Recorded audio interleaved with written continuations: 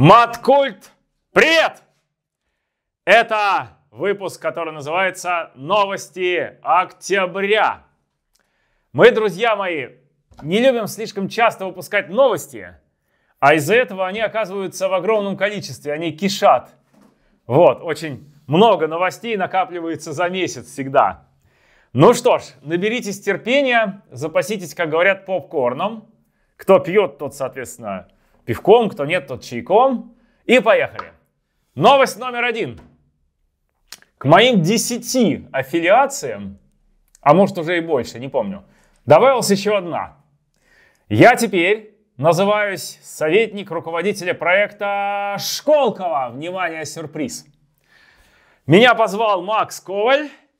А после того ролика он э, позвонил, говорит, слушай, ты говорит, так вот Тебе нужно было, да, записывать этот ролик? Э, я говорю, ну да, на тот момент прям нужно было. Слушай, говорит, давай мы с тобой вот вместе будем в Школково, ты будешь там ездить по городам, да, а, распространять информацию о нас.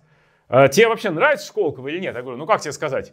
Я помню, как ты меня спас весной 2020 года, коронавирусной весной, фактически, когда потерялась куча записей, Сбербанк отпал с его семинарами, это был очень серьезный источник дохода. И в этой ситуации Максим меня позвал и, в общем, очень сильно выручил.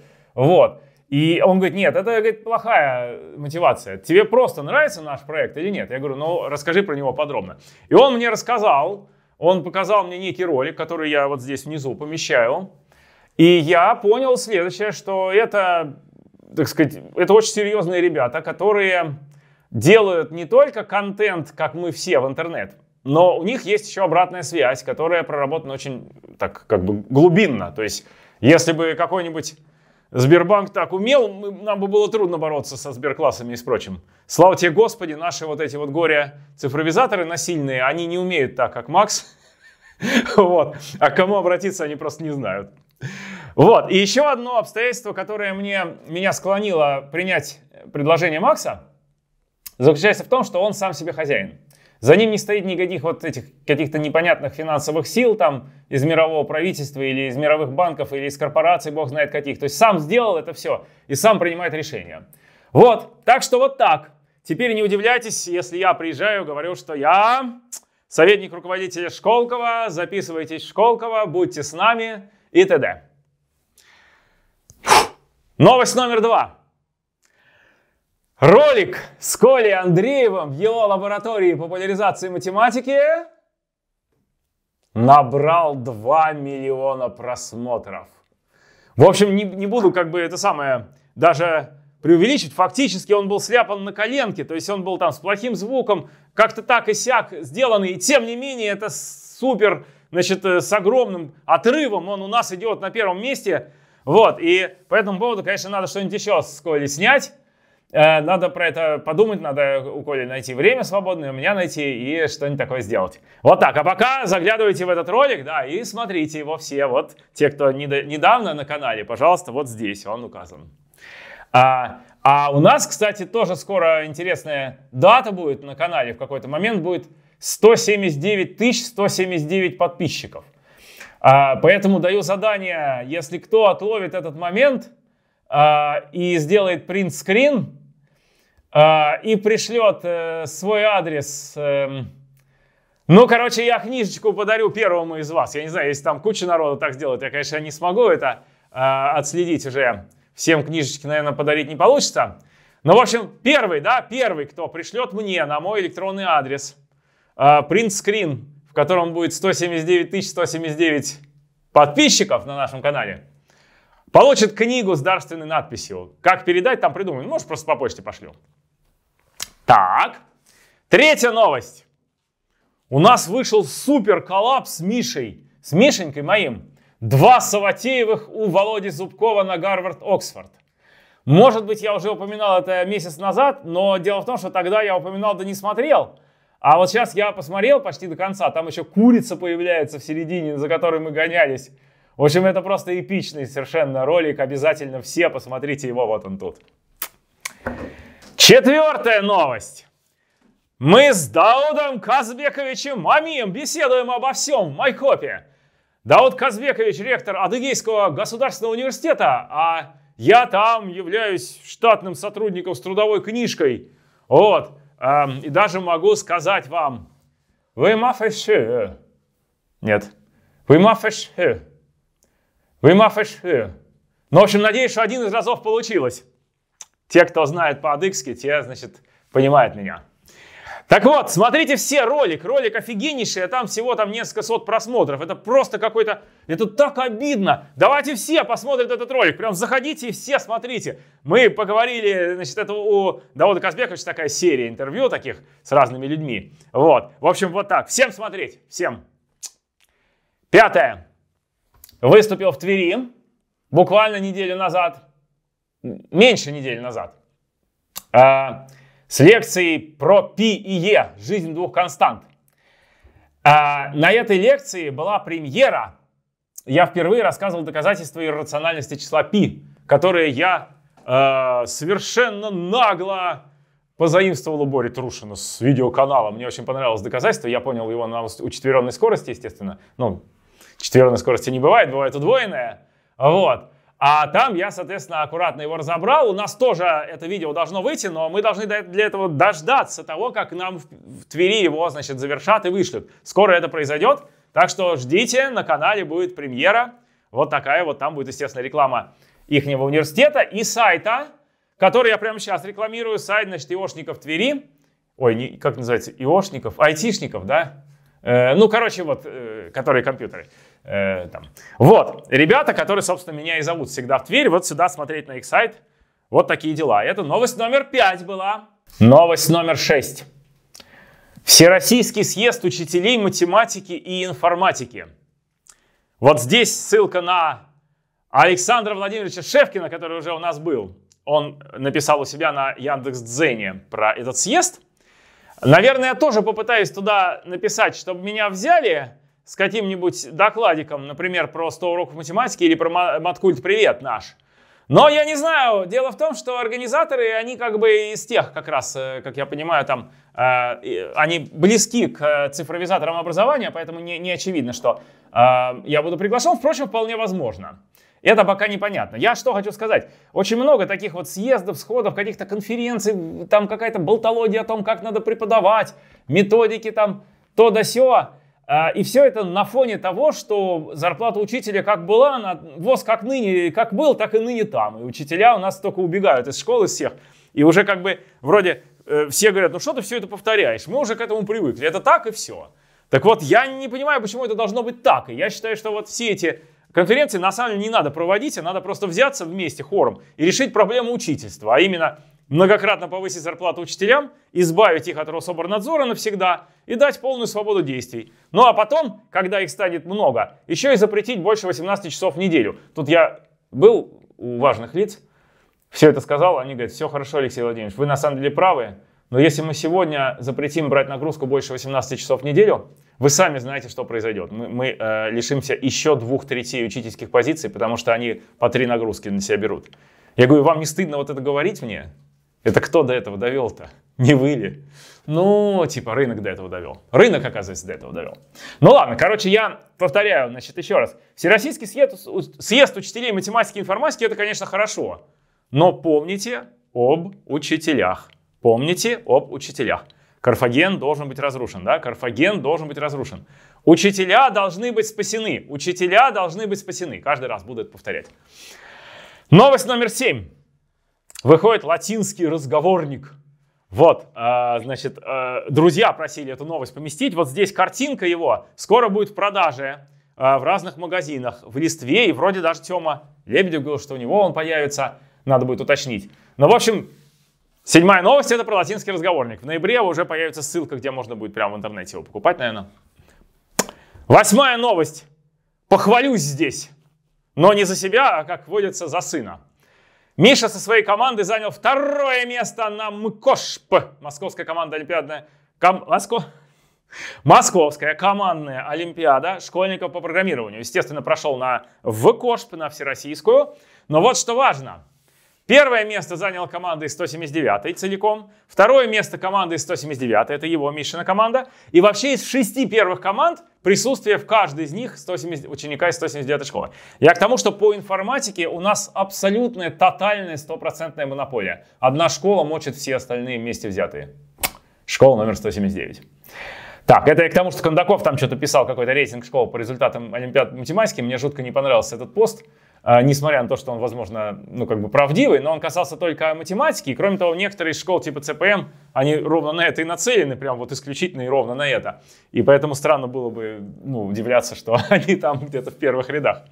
Так что, отвечая, да, по информатике у нас просто один лидер и все, а дальше все остальные. А это 6, 7, 8, так, не умею считать, да, 9. Девятая новость. На экспоненте, где я тоже сотрудничаю с ними, записываю у них ролики по математике. Уже вышел весь Эйлер и довольно большой отрезок Гаусса. Гаусса мы завершили, он тоже будет постепенно выходить. Следующим будет Лобачевский, мы его будем записывать, и выходить он будет, наверное, уже в 2022 году. Так или иначе, вот здесь ссылка на готовые ролики, на мой плейлист на экспоненте. Вот, заходите и все смотрите, тоже чтобы было дофига просмотров там. Десятая новость. С 30 ноября по 2 декабря. Экономикон АГУ в Майкопе. Обязательно все имейте в виду, кто там недалеко, в различных городах, обязательно эти дни приезжайте к нам в Майкоп. Будет страшно интересно. Просто это вот гарантирую вам. Это фактически байкальские чтения, перенесенные на Кавказ. Кавказские чтения. Помните, байкальские чтения я проводил все время. Вот. И Масеп. Это, это такое слитие из этих двух. Вот, так что туда, там будет, а, еще кроме наших, э, собственно, самого экономикона, будет Олимпиада Рост, которую проводит Дауд Казбекович, такая Олимпиада по экономике.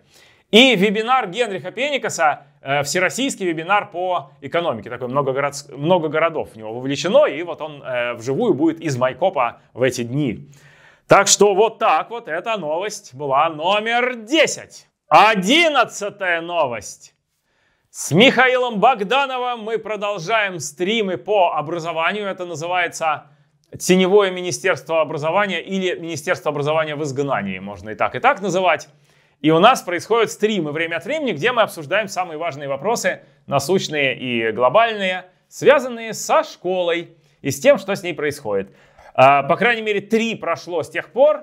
А, вот здесь вот по ссылке все три. Может быть, одну из них я уже месяц назад э, э, показывал, ну неважно. Вот здесь смотрите. Так, дальше новость номер 12. Красноярская летняя школа. Это, мои друзья, я туда очень много раз ездил, вел занятия, и сейчас они про просят просто ее пропиарить, вот просто чисто по-человечески, понимаете, пропиарить. Вот, так вот, я ее действительно, я ее пиарю, ну тут такой длинный текст, сибирская жемчужина дополнительного образования, вот. Несмотря на все перипетии с ковидом, планирует свой очередной сезон. КЛШ – уникальное место, где школьники не столько учат конкретные предметы. Ну, короче, дальше очень много. Суть в том, что обязательно вот сюда идите по ссылке, э, там регистрируйтесь, записывайтесь и вперед на Красноярскую летнюю школу. Вот, так, 11, 12. 13. В Наука Про вышло, вышел мой ролик про Пифагорову комнату. СМ сюда.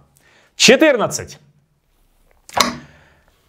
Уроки с 21 по 25, э, по 25 из цикла 100 уроков математики вышли на проекте «Дети и наука». Ищите ошибки в задачах. Уже один замечательный товарищ по имени Александр нашел парочку ошибок нам. За что ему огромное спасибо. Не помню фамилию, к сожалению, но я надеюсь, он не обидится. А может, он вообще скромный и не хочет, чтобы фамилия указывалась. Вот, в общем, ищите ошибки, обязательно присылайте мне, если видите ошибки, потому что мы, к сожалению, часто их совершаем. Ну, а кто не совершает ошибки? И до конца года, напоминаю, еще 10 выйдет. То есть до 35 урока будет полностью с, комп- с конспектами и упражнениями. Если кто пройдет, это уже очень серьезное такое начальное введение в математику. Новость номер 15 – это интервью на канале «Спец». Причем, кажется, их уже два. Я точно не помню. Либо одно, либо два. Одно точно есть вот по ссылке. Если вы уйдете на ссылку вниз и увидите там две ссылки, значит их на самом деле уже вышло два. Канал «Спец» – это там есть такая серия а, красных каналов Гоблин, Спец, Аврора и Сталинград, которые я с удовольствием посещаю, потому что там совершенно замечательные люди. Вот я как бы такой странный человек. Я имею свои взгляды, но я с удовольствием хожу к людям, у которых взгляды абсолютно противоположные мои, ш, моим. Что к либералам, что к коммунистам. Ко всем хожу. Главное, чтобы человек был вот хороший. Ты к нему приходишь, и тебе с ним хорошо. Сидишь и беседуешь. И если тебе вот хорошо с человеком беседовать, то какая нахрен разница, какие у него взгляды? Даже интересно, если они у него не твои. Вот. К слову, тут несколько дней назад попытался я позвать Александра Юрьевича Панчина, а, тоже на беседу. У него вообще противоположные взгляды по всем пунктам, я думаю, что буквально по всем пунктам жизненной повестки. Ну, что-то он, значит, отказался участвовать э, в этой беседе. А так интересно было бы прояснить. Может быть, у нас есть какие-то точки соприкосновения. Но вот мы его позвали, но он отказался. Ну, что поделать, посмотрим, может, еще кого позовем. Там есть еще несколько человек, таких ярых просветителей атеистического толка, вот, с которыми бы я с удовольствием поговорил. Вот, может, позовем и с кем-нибудь и поговорим. И новость номер 16. Мы продолжаем записывать э, серию роликов Леша и Мурат. Вот одна из серий здесь. Я, конечно, об этом уже говорил месяц назад, но проблема вот в чем. Проблема в том, что записи, которые должны были быть в моей копии, отложились. Мурат короновался там э, как раз в это время. И доктора сказали, что он еще заразный. И несмотря на то, что я переболел, и мне похрен абсолютно, они там пожалели этих самых операторов, в общем, и поэтому съемки пока перенесли. Но потом я, значит, мы к этому вопросу обязательно вернемся, а пока смотрите вот эти, очень прикольные. Я его учу математике, а он меня учит адыгскому языку. Вот, вот так. Это тоже там в моей копии.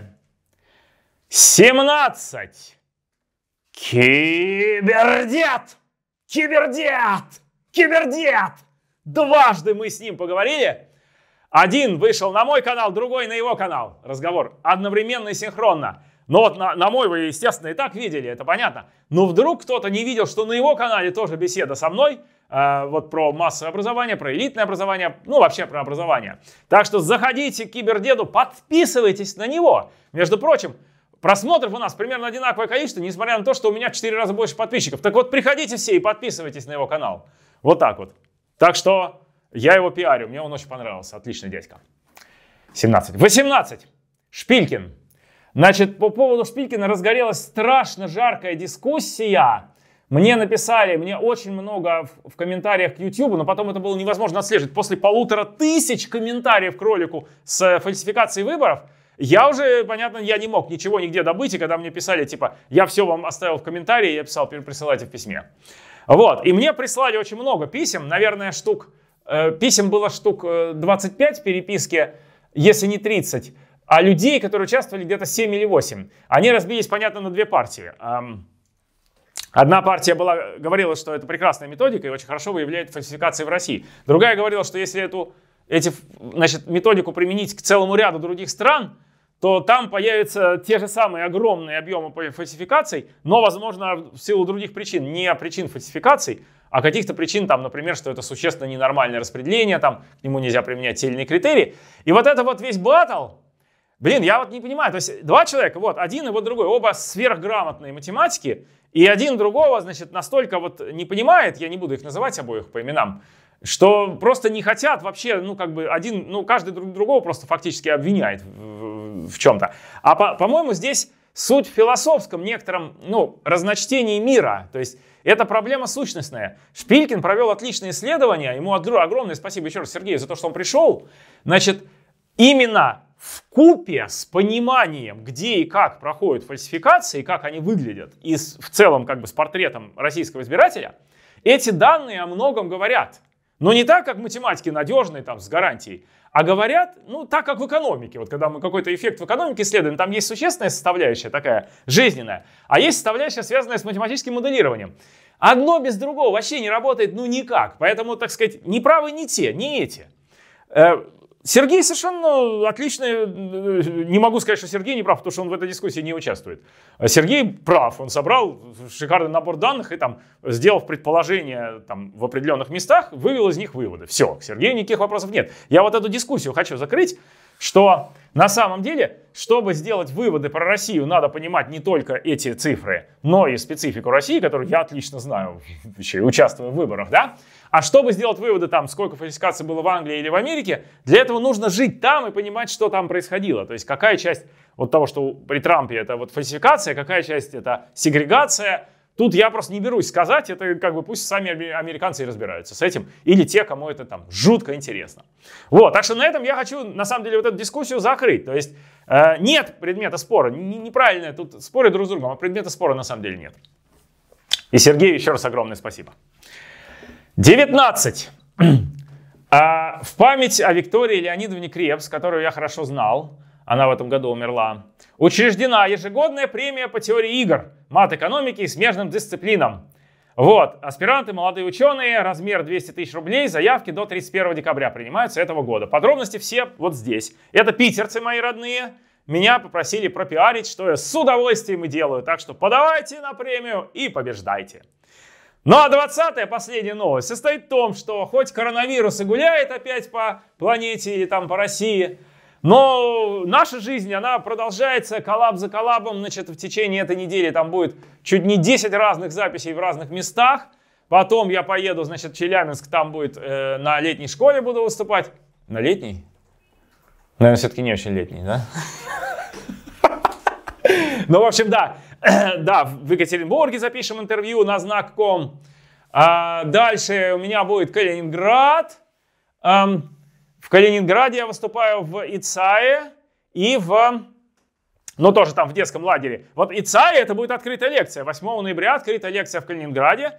Так как новости, вот я сейчас об этом говорю, а следующие новости будут только в конце ноября, то, пожалуйста, следите за нашими новостями на других наших местах. То есть в ВК, в сообществах YouTube, в Фейсбуке, конечно, напишу. То есть следите, чтобы узнать и прийти в Калининград 19.00. Лекция называется Э, знаменитые нерешенные проблемы школьной математики. Да, конечно, Баян, но в Калининграде такой лекции еще не было. Кроме того, может быть, я немножко... Проблем-то много, я же могу и эти указать, и эти, и те. Тогда это будет 3-4 варианта совершенно разных э, лекций с одним и тем же названием. Вот, Калининград. Значит, дальше пока ничего. А, там будет, значит, 9 числа ноября будет в Москве, в каком-то музее, тоже следите за сообщениями, если вот в Москве не отменят, если Собянин не отменит. Вот, 9 в музее, и 18 в другом музее тоже в Москве будет. Так, 10 там 11 что-то будет, так, так, так, так, так, так. Эм, короче, 15 и 16 Тюмень и Салихард. Опять же, если там не будет какого-то шухера, пока все взято, все в планах. Тюмень 15 ноября, Салихард 16 ноября. Салихард. Понимаете, впервые в жизни полечу в Салихард из Тюмени. Так, дальше что у нас идет? Дальше, значит, идет, э, так, э, Сочи это Сириус, э, и потом, да, потом Экономикон, потом еще что-то будет в декабре. В общем, на этом я завершаю этот выпуск новостей. Надеюсь, что я вас не задолбал. Вот. Так что следите, скоро у нас очень много интересного будет на канале, и в этом состоит наша, например, 21 новость для того, чтобы было очко, да, очко новостей. Не 20 новостей, а прям 21. Маткульт, привет!